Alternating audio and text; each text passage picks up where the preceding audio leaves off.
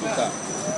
Universidade das Quebradas, Mano Tom, o que que é, o que que há, é a união das culturas um banquete pra mente fortificar. O que que é, o que que há é a troca de saberes e conhecimento, aperfeiçoando e despertando o talento. Quem viveu tudo, quem é que sabe tudo, aprendendo um pouco de tudo com todo mundo. O que que é, o que que há é as quebradas evoluindo pra revolucionar. O que que é, o que que há é as quebradas treinando pro mundo abraçar. O que que é, o que que há.